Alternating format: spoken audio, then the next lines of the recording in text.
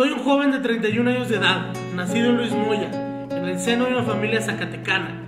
Soy un hombre de proyectos que se ha dedicado a prepararse para servir desde cualquier trinchera, como lo que soy, un servidor público.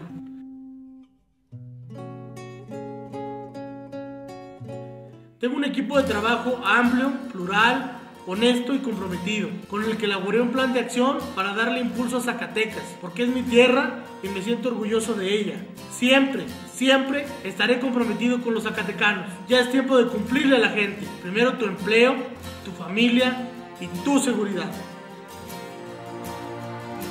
También me siento orgulloso de ser nieto de inmigrantes, que con su esfuerzo, como miles de zacatecanos, desde hace mucho tiempo buscaron el sustento de una familia para que sus hijas salieran adelante. Así fue como mis padres pudieron educarse y trabajar para que a su vez darnos a mis hermanas un mejor futuro. Gran parte de mi vida la he pasado cerca del campo y de los campesinos. Desde niño he conocido las carencias que tienen nuestros agricultores y ganaderos. Gracias a esa tierra noble y fértil, hoy soy lo que soy. Estoy formado en una familia que me educó bajo los principios y valores que tenemos todas las familias zacatecanas. Honestidad, lealtad, trabajo y cariño por su tierra.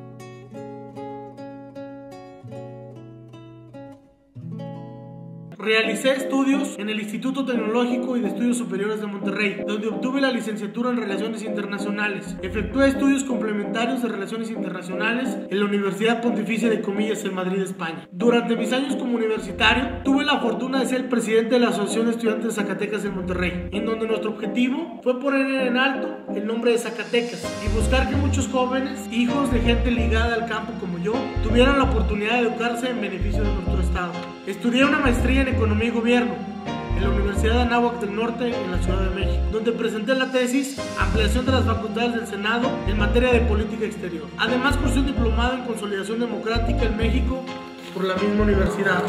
Al igual que la mayoría de los jóvenes que terminaron su carrera, me fue difícil conseguir trabajo. El mercado laboral no es suficiente y además es mal remunerado. Afortunadamente y después de mucho esfuerzo, pude ocupar una secretaría técnica por más de 5 años. Adquirí mucha experiencia en órganos tan importantes como la Junta de Coordinación Política, las comisiones de puntos constitucionales, energía, salud y seguridad social, así como los grupos de análisis de política exterior, campo y migración del grupo parlamentario del PRI. Conozco ya las actividades legislativas desde entonces. He venido trabajando para buscar mejores condiciones de vida para los zacatecanos. Término de la pasada legislatura federal, fui invitado a colaborar en el Ayuntamiento de Zacatecas como secretario de gobierno. Tuve la oportunidad de conocer de cerca los grandes problemas de los municipios por falta de recursos. Desde ahí, en colaboración con otros zacatecanos comprometidos, promovimos la modernización administrativa para que hubiera mejoras tecnológicas para hacer más eficiente el servicio a los ciudadanos. En seguridad pública, tuvimos la visión de impulsar la capacitación en derechos humanos, atención ciudadana, técnicas policíacas, entre otras cosas. Todo con el fin de mejorar el servicio a la ciudadanía. En el ayuntamiento fuimos reconocidos por amplios sectores sociales por tener siempre una política de puertas abiertas, de dar la cara a la gente y de trabajar de la mano con él, hombro a hombro, para solucionar los problemas que aquejan a la ciudadanía. Sé que como diputado federal puedo aprovechar mi preparación y experiencia para continuar el proyecto que me tracé para impulsar a Zacatecas, gestionando aún más recursos para que contemos con más producción, más apoyo para los municipios, más escuela, más vivienda, en resumen, una mejor herencia para nuestros hijos. Ya es tiempo de cumplir la gente. Primero tu empleo, tu familia y tu seguridad.